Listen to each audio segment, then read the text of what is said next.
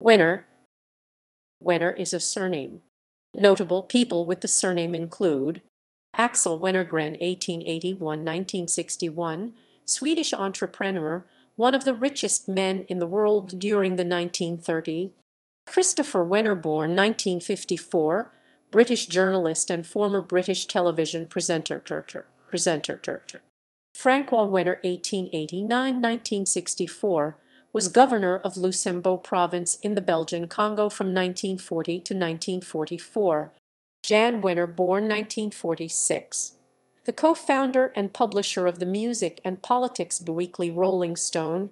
Kurt Wenner, artist best known for his realistic street painting and chalk murals using a projection called anamorphosis;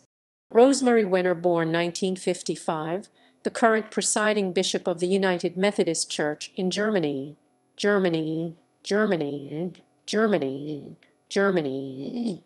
Germany.